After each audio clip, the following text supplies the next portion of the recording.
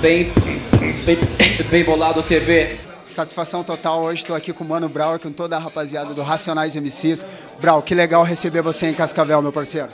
Satisfação total aí, Cascavel, receber a gente de braços abertos aí. Nós demos maior sangue no barato. Foi daquele jeitão, 380.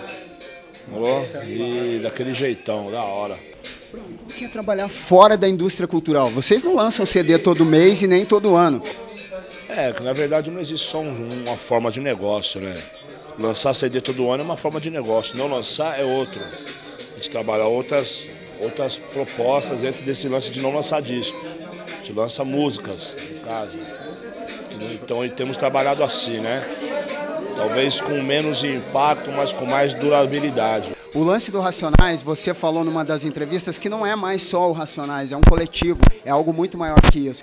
Verdade, porque as ideias estão por aí, né? As ideias estão, estão no ar, né?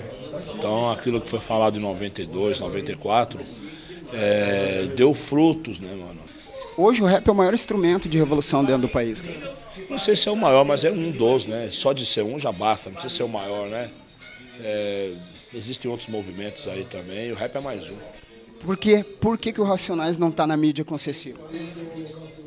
Na mídia aberta, nessa mídia aqui? Cara, eu vou te falar que esse lance de dizer que o Racionais não está na mídia é muito relativo. Eu acho que o Racionais está muito na mídia.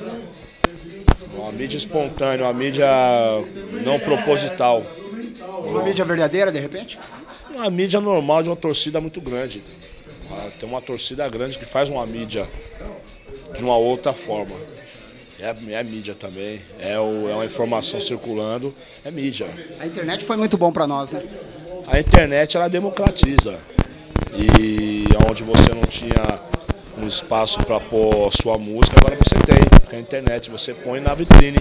Eu quero que você mande um recado aí para a galera do Bem Bolado TV, que é o jornalismo alternativo e verdadeiro que a gente está tentando construir. Pesado, bem boladão, bem bolado, essa é a ideia.